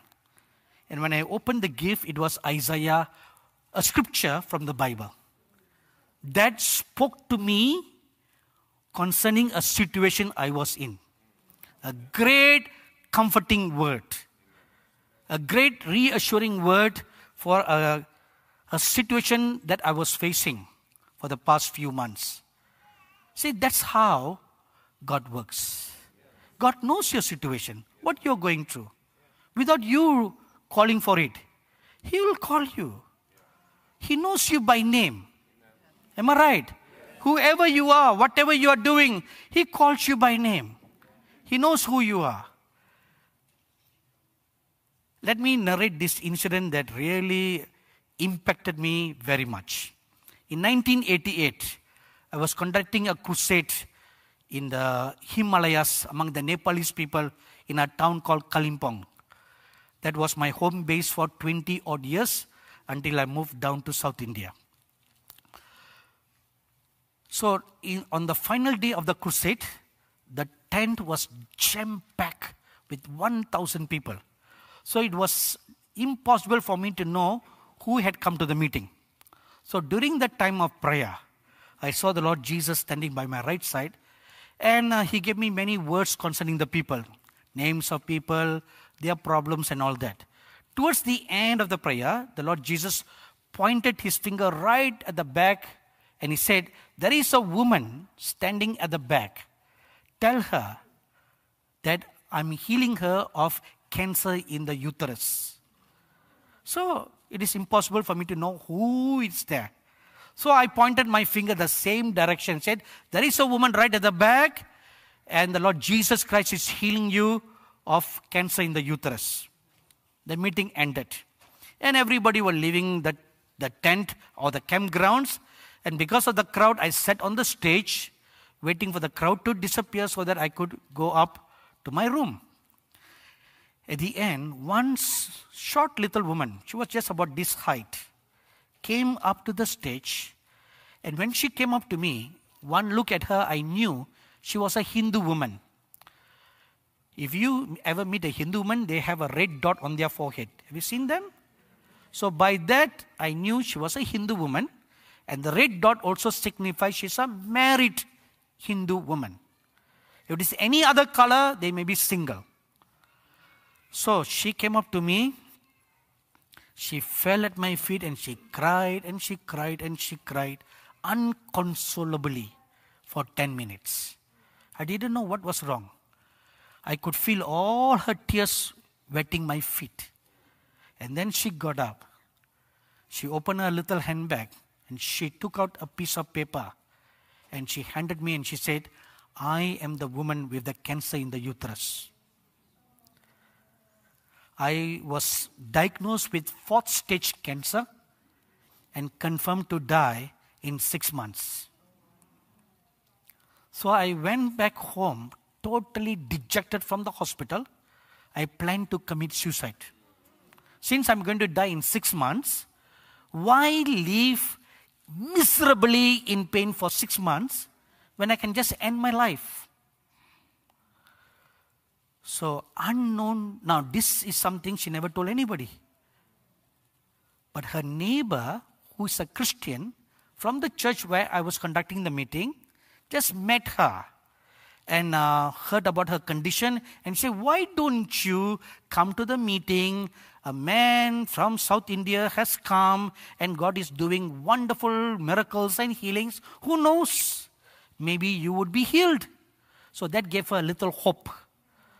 And she said, I wanted to come and see you privately and ask you for prayer. But when I entered into the campgrounds, it was so full, I could not reach you. So I stood right at the back of the auditorium. When you said, Call on the name of Jesus, I cried out to him. I said, Jesus, heal me. It was at that moment you said, There is a woman there. God is healing you. At that precise moment. And she said, When you said God is healing you, a power came and hit me. And instantly, all the pain, all the stiffness disappeared. Instantly healed.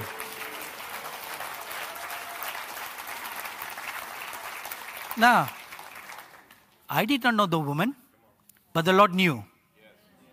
Right? In fact, you know, the Lord called her, Tell my daughter. Who is she? A Hindu woman. But the Lord called her, My daughter.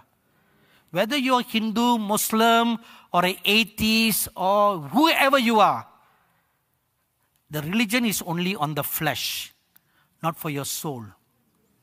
The soul belongs to God. So he still calls you son and daughter. That is one privilege no one will take away from you. That good part. So the serpent, with his seducing spirits, will deceive and cause rebellion. Will not only deceive, but will also cause rebellion. How? I'll give you two examples. Genesis chapter 3, verse 6. Satan caused Eve to rebel against the word of God.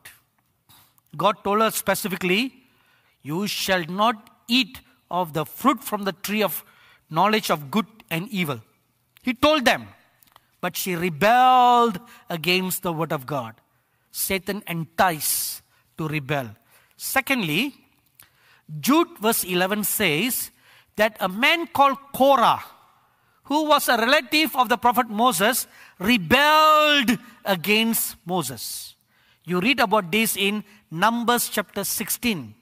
Korah, Dathan, Abihu, and Oholiab. Four of them, all from the tribe of Levi, who were distant relatives of the prophet Moses, rebelled against his leadership, enticed by the devil. So that's what the devil does cause you to rebel. Whenever you feel any rebellion rising inside you, instantly recognize it's from the devil. And stop it. Stop it immediately. Don't entertain those thoughts of rebellion. Don't entertain. If you have a difference with your pastor, go and talk to him. Pastor, I have this disagreement with you. Your pastor will be able to explain to you from his point of view. If you agree, stay. If you don't agree, leave quietly. That's the righteous thing to do. You leave quietly and don't bring a group with you. If you ever do that, that is the work of the devil. When he left heaven, he brought a company with him. See, people do that today, right? So, why do they do that today? They receive that anointing from the devil. Truly, they are anointed, but not from God, from the evil one. Now, I have seen this serpent many times, and it is a terrible, terrible thing to look. Terrible thing to look.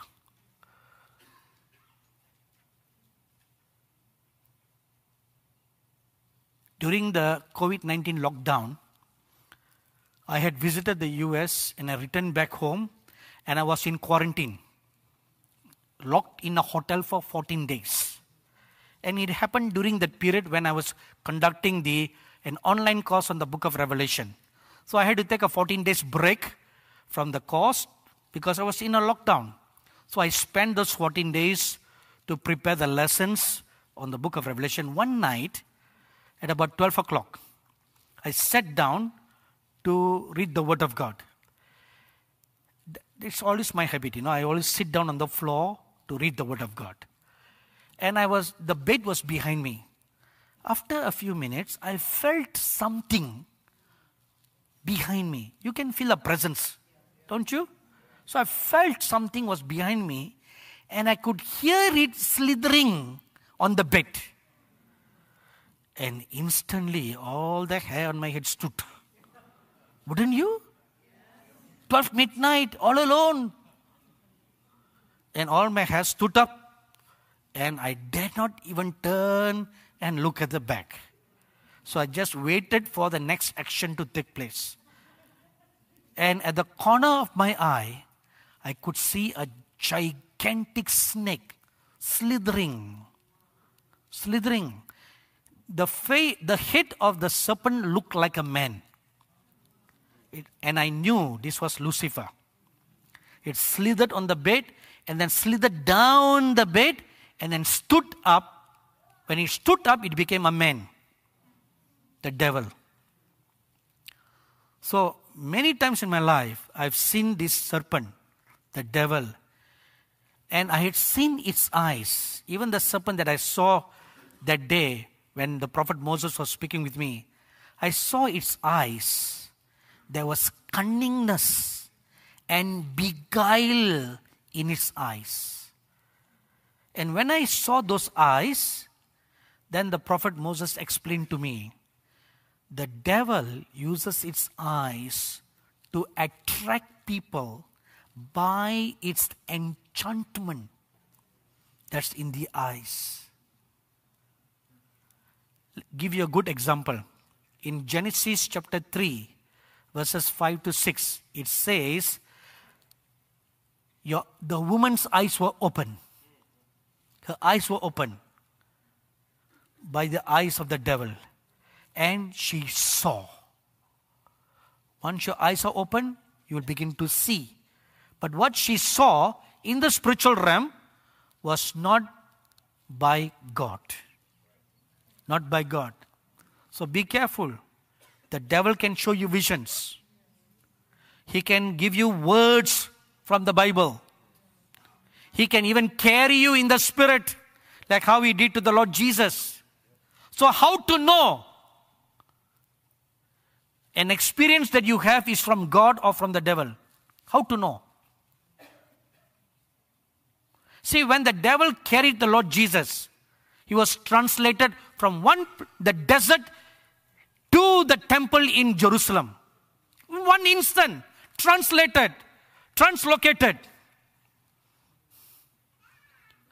The Lord Jesus Christ did not resist it. Resist it. But how did he know it was the work of the devil? Firstly, he saw the devil. Secondly, how he twisted the word of God. Now, before, now this is a very important principle to learn. Before you can discern the devil is twisting the word, first you must be full of the word. Basic principle, basic foundation. You must be full of the word. If you are not full of the word, then you are doomed for deception. Be full of the word. Once you're full of the word, the Holy Spirit within you will alert you if a wrong visitation comes. Again, during the lockdown, this was the first few days of the lockdown. So I was sitting in my room preparing the lessons, and suddenly an angel of the Lord appeared before me. And he gave me, Son of man, I have been sent from the presence of God to give you this word. When he spoke those words, I felt in my spirit something not right. Usually, you feel the presence of God and full of peacefulness, holiness, even the fear of God come upon you when a true angel or a true saint from God comes. But this time I felt an, a jarringness in my spirit that this is not from God. So I looked at the angel and said, Did the Lord Jesus come in the flesh? He said, Son of man, I've been sent from the presence of God. I said, Did the Lord Jesus come in the flesh? Son of man, I've been sent from the presence of God to give you this word. So I said, Stop it and answer my question. The moment I said that, he dropped down, the whole angel being. Plop! Have you, you know what is a jello? He transformed like a jello and plop! Fell to the ground into a black mass, of a spongy jello. And then slowly it disappeared. Initially, it looked like an angel. But because you have the word inside you, the word will protect you. The word will protect you. If, you. if your heart is empty of the word, then what defense do you have? What defense do you have? You will be swayed by any wind of doctrine. So, people of God, give yourself to reading the Word of God. Whether you understand or you don't understand, read from Genesis to Revelation. Read through. Read one time, read two times, read three times, and then the Holy Spirit will begin to reveal, make you understand. The Word of God is your only defense, nothing else. Why? The eye. Matthew chapter 6, verses 22 to 23 says, The eye is the gateway of the soul. It is the gateway. If your eye is full of light, your spirit, soul will be full of light.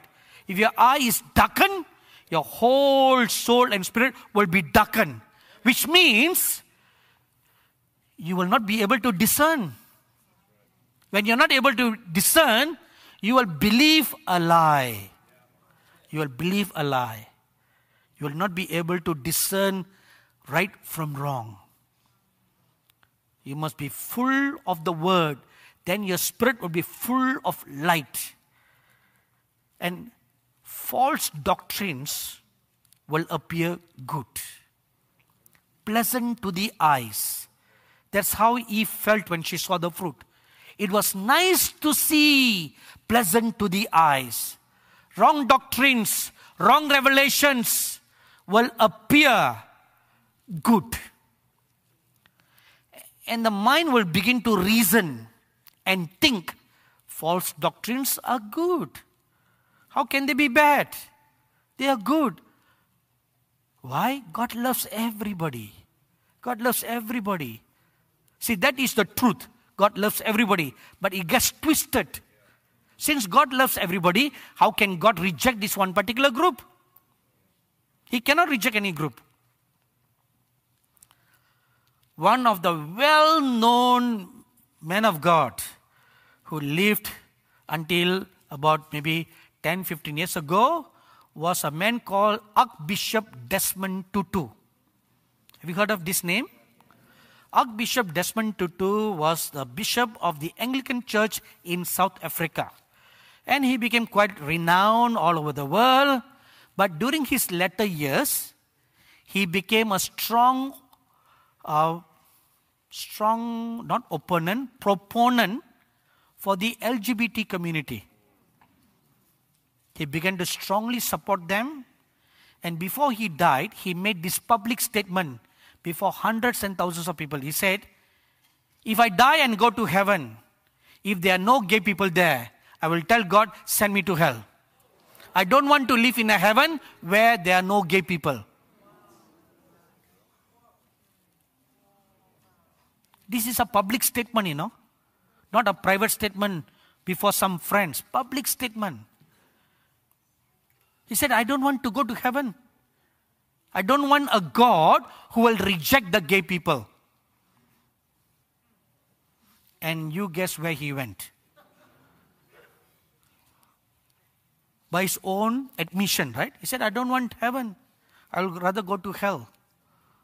He doesn't know how hell looks like. One woman whom I heard had an experience in hell. She said, Not even your worst enemy should go to hell. Not even your worst enemy. That's how terrible hell is. So the eyes are the senses of perception and feelings. It perceives and then it gives you the feeling, which means enticement of false doctrines to make one wise. An enticement. So, what is the result of the serpent's work. What will be the results? First Timothy chapter 4 verse 1. Now the Spirit expressly says that in the latter times some will depart from the faith. Underline that. Depart from the faith. Giving heed to. Please underline the next sentence. Giving heed to. Deceiving spirits and doctrines of demons. Number one, some will depart from the faith, meaning they will fall away. Fall away from following the Lord Jesus Christ.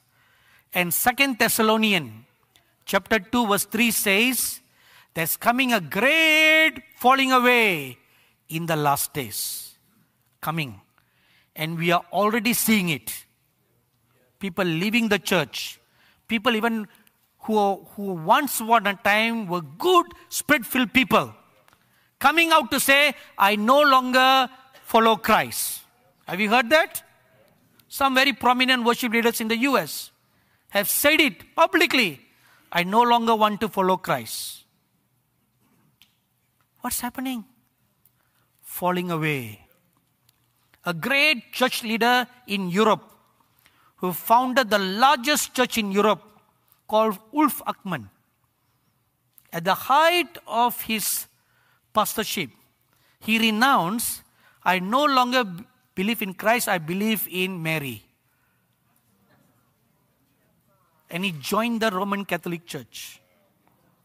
He founded the largest Pentecostal church in Europe. Fall away.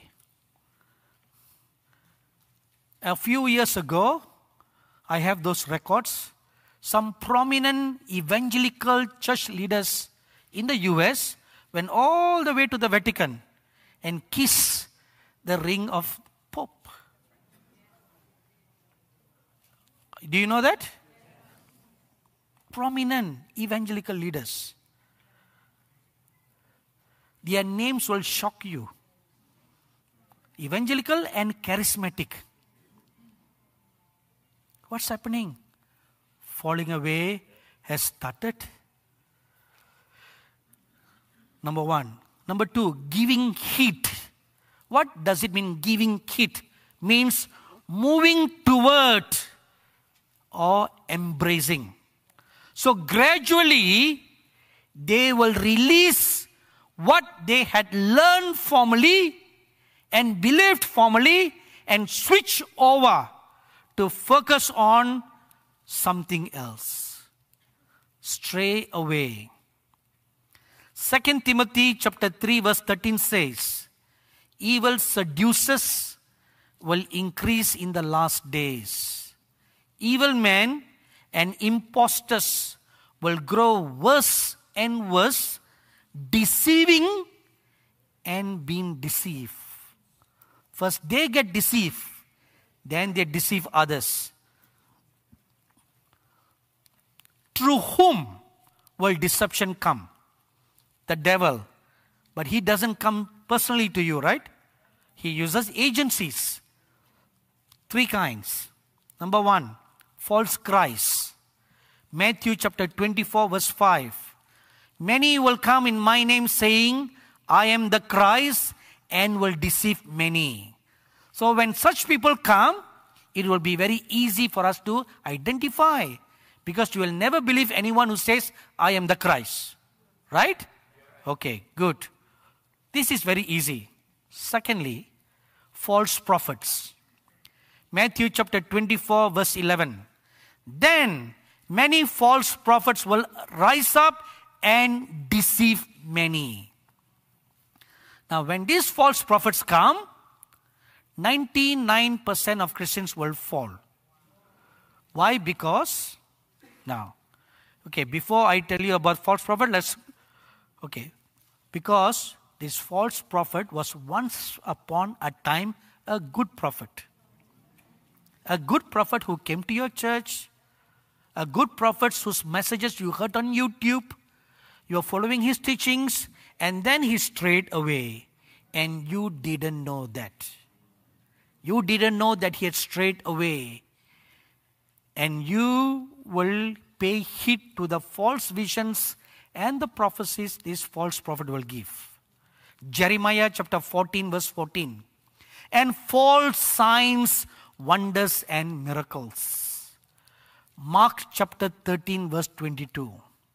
So we should not also run after signs and wonders, miracles taking place in this crusade and that crusade. They are genuine works of God. And the genuine works of God will be attested by the fruit of the Spirit in the man of God's life. Where he is not boastful or attracts attention to himself, giving all the glory to God. And they live such a godly lives. Not drinking booze after the meetings. Right? So, what is the goal of a false prophet? To cause Christians to go astray from following true doctrines. That is their goal. Thirdly, false teachers. 2 Peter chapter 2 verse 1.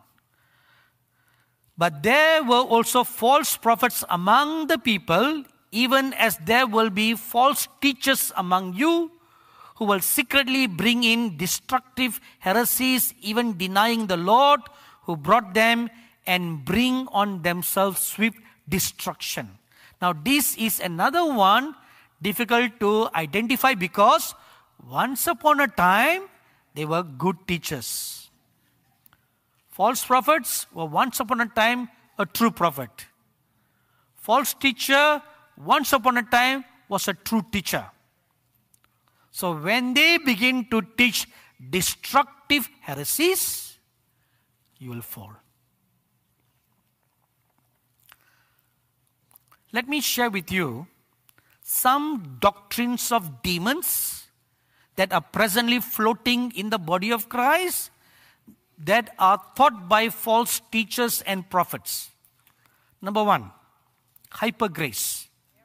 I'm sure you already are familiar with the hyper grace gospel, where they say everyone was has been forgiven, which is technically correct. But this hyper grace goes on to say, even all your future sins are already forgiven, which means no matter how filthy a lifestyle you live, no matter what evil that you do, they are already forgiven. So just go on living as you are. Hyper grace. Is it right or wrong? Hyper grace. Secondly, the doctrine of immortality. Have you heard of that? No. This has been creating havoc in India during the COVID 19 period. Now, what is the hyper doc, uh, immortality doctrine? It's nothing new. The very lie the devil told Eve you will not die. And the immortality doctrine says you will live forever and ever. Is it true? Even the great apostle Paul died, right? Thirdly, the latest that's present now. The gospel of inclusion. Have you heard of that? Gospel of inclusion. That gospel teaches that everyone, including gay people, are all in the kingdom of God. No matter what your lifestyle is, you are included in the kingdom of God. that makes a mockery for God to destroy Sodom and Gomorrah. Right? And in the book of Revelation, it states very clearly the abominable, the effeminate, and the gay, the homosexual will not enter into the kingdom of God. Period. No argument against that.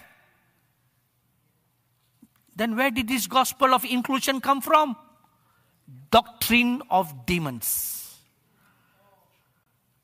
My dearly beloved brothers and sisters, sons and daughters, the Lord Jesus Christ very strictly warned us in Matthew chapter 24, verse 24, that even the very elect will be deceived.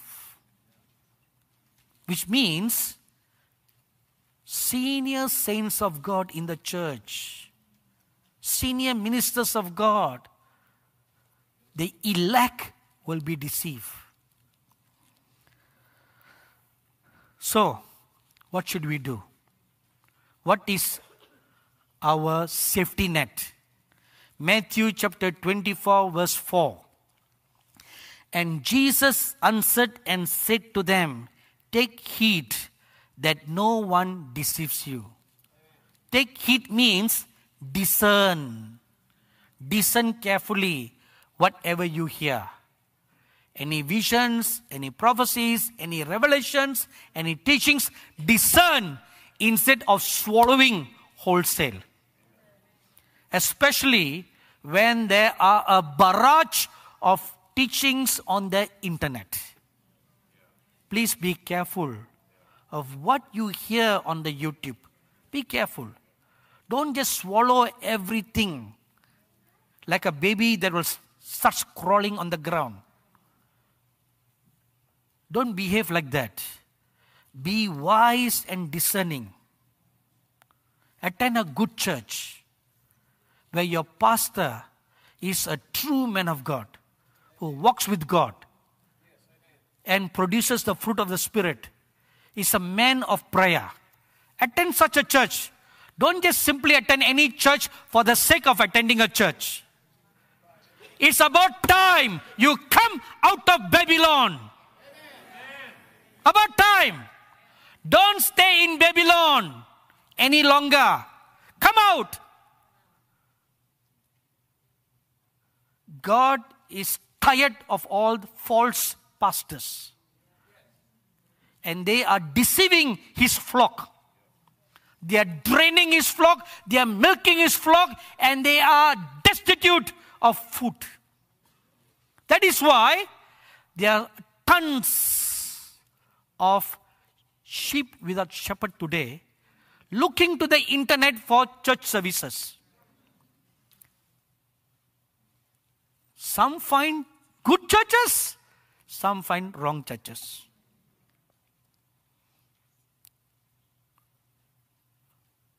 You should attend a church which is a praying church. A church that prays is the house of God. Because the Lord Jesus said, My house shall be called a house of prayer. If there is no prayer in a church, don't go to that church. They can have good teaching, good preaching, good singing, good prophesying, good ministry. Don't. It's a lopsided church. Attend a praying church. And make sure the pastor is a praying pastor. And also, the shepherd should be a lover of souls. To reach out to lost souls go to such a church where you will grow like a plant that's planted by the rivers of living waters. Amen? Let's all arise for a word of prayer.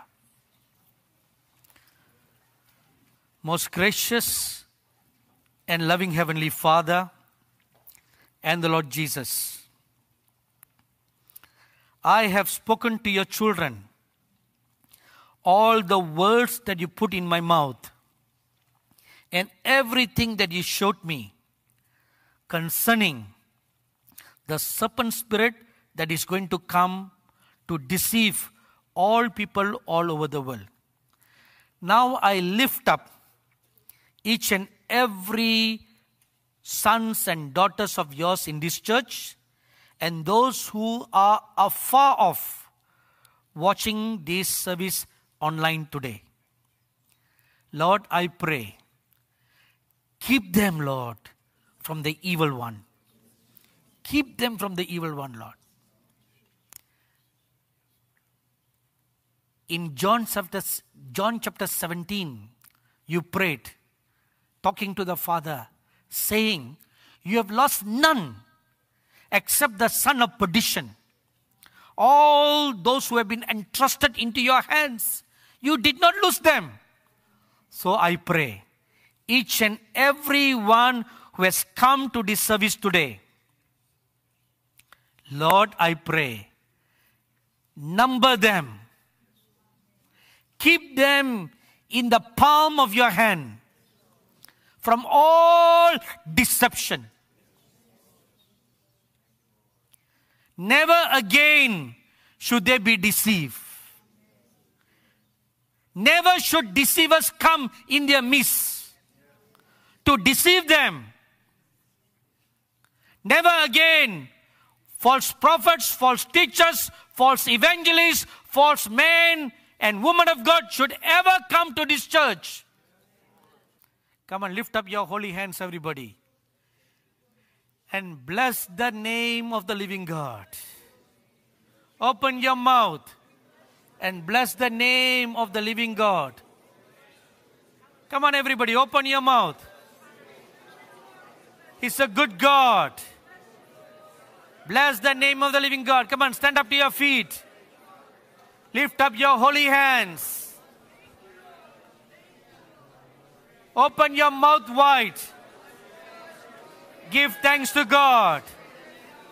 Give thanks to God. I love you, Lord, and I lift my voice